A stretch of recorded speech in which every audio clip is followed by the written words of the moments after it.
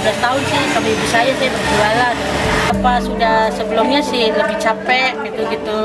Kita ini kalau sekarang sih lebih enak, udah rapi. Ikan-ikan lemak semua. Kalau dulu kan pakai antelase, jadi ikan-ikannya ada yang di luar. Kalau sini kan di dalam semua, masuk semua enak, rapi, banyak tertarik, pengen ikut tanpa biaya, alhamdulillah. Ya kalau bikin sih lebih dari segitu sih, lebih dari modal. Ya harapannya sih maju gitu.